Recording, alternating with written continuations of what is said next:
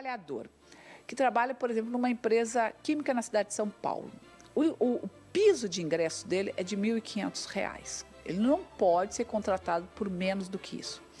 Se ele for se o trabalhador, ao invés da empresa contratar um trabalhador diretamente, ela recorre a uma empresa de intermediação de mão de obra e contrata na forma de trabalho temporário, piso desse trabalhador pode variar entre mil e mil e trezentos reais. Ou seja, só aí você tem uma diferença de 30 a 50% no salário, sem considerar todos os benefícios que uma ou outra convenção coletiva promove, né? Serve para um bancário, serve para um metalúrgico, serve para um comerciário, serve, serve para qualquer área em que nós, qualquer categoria profissional que nós uh, analisemos.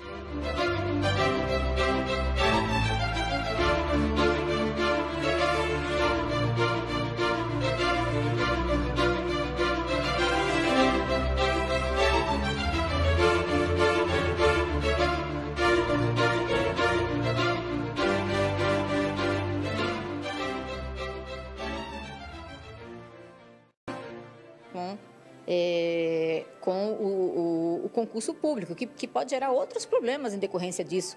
É, é o gestor público, é o, o, seja o executivo, seja prefeito, seja o governador, seja o presidente, é, é são suas são suas secretarias, ministérios que vão fazer essa contratação. Aí você pode abrir espaço, para, inclusive, para ter processos ilícitos, ilegais, contratação de, de, de, de privilégios, é, privilegiar a contratação. O, o, o concurso público ele democratiza a contratação.